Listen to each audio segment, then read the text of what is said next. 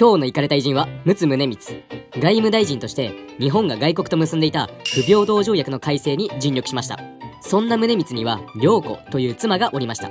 しかし宗光は良子さんという素敵な女性を抱えておきながら他の女性と浮気をしていたのです。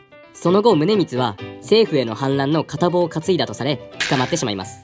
そして宗光は獄中で自身の行いを反省し妻の良子には家をしっかり守ってくれ。他の男は絶対入れるな。と妻に浮気されないよう努めました。一体どの口が言っているのでしょうか。やっとのことでシャバに出てこれた宗光。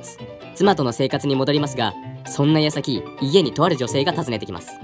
獄中での話は嘘だったのですか？そうその人は獄中で囚人の世話をしていた女性でした。